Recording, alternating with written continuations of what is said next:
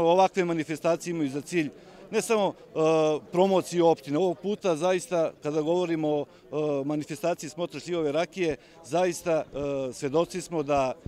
se na teritoriji naše opštine zaista prave kvalitetne šljivove rakije, u to možemo svi mi da se uverimo jer dođe trenutak kada su slavlja, rođenja, krštenja, svadbe, venčanja, da jednostavno to je naša tradicija da kod nas Srba se koristi ova šljivova rakija i tako da zaista ja verujem da će u narednom periodu da e, ovde dođe do i udruživanja i da e, brendiranja e, šljivove rakije sa ovih prostora, mnogo je važno to geografsko poreklo, da budemo i mi upisani u mapu proizvođača šljivove rakije što se tiče Republike Srbije.